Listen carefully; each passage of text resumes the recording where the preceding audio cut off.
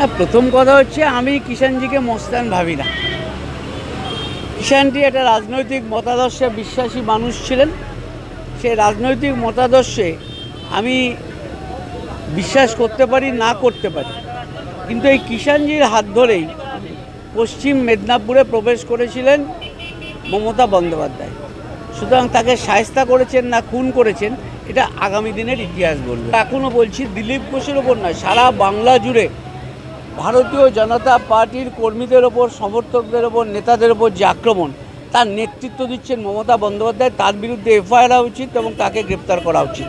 যদি এখনও আমাদের স্টিং নিউজ চ্যানেলটি সাবস্ক্রাইব না করে থাকেন, তাহলে এক্ষুনি সাবস্ক্রাইব করুন আর বেল আইকনটি ক্লিক করুন। পেয়ে যান সব খবরের দ্রুত ভিডিও আপডেট।